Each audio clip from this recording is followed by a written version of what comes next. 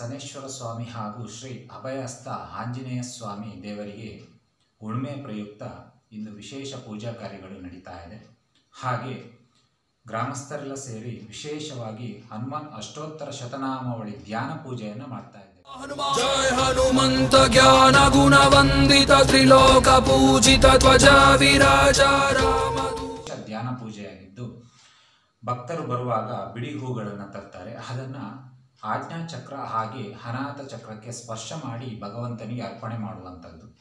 ನೀನೇನೆ ಓಂಕಾರ ನೀನೇನೆ ಶ್ರೀಕಾರ ನಿನ್ನಿಂದ ಜಯಂಕಾರ ಪರಪದಯ ತೋರೋ ನೀನೇನೆ ಜೈಕಾರ ನೀನೇನೆ ಜಯಕಾರ ದುಷ್ಟಾರ ಸಂಹಾರ ಬಾರಪ್ಪ ಮಾಡು ಬಾರೋ. ಜಯ ಹನುಮಂತ ಶ್ರೀರಾಮದೂತ ಹೇ ವಾಯುಪುತ್ರ ಹೇ ಸೀತಪುತ್ರ ಹೇ ರಾಮಪುತ್ರ ರಾಮಾಂಜನೇಯ ಪರಪ್ಪ ನಮ್ಮಪ್ಪ ಈ ಕಷ್ಟವನಿಗೂ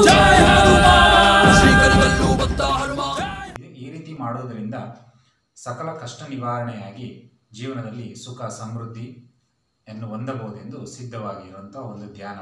ಹಾಗಾಗಿ ಪ್ರತಿ ಹುಣ್ಣಿಮೆ ದಿನ ಇಲ್ಲಿಗೆ ಗ್ರಾಮಸ್ಥರು ಹೆಚ್ಚಿಗೆ ಸಂಖ್ಯೆಯಲ್ಲಿ ಭಾಗವಹಿಸಿ ಈ ಧ್ಯಾನ ಪೂಜೆಯನ್ನು ಮಾಡ್ತಾ ಇದ್ದೇವೆ.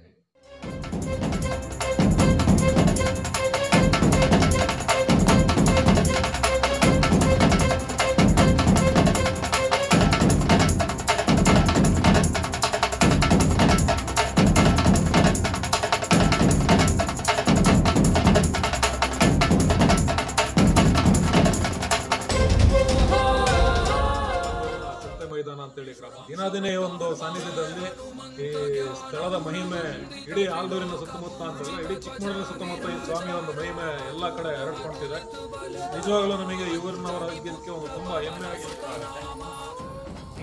ನೀವು ಕೊಟ್ಟಿರುವಂಥ ಹೂವನ್ನ ತಗೊಂಡು ಪ್ರತಿಯೊಂದು ಆಂಜನೇಯ ಶತನಾಮಾವಳಿ ಬಂದಾಗ, ಓಂ ಆಂಜನೇಯಾಯ ನಮಃ. ಈ ರೀತಿ ತತ್ವಜ್ಞಾನ ಪ್ರದಾಯ ನಮಃ.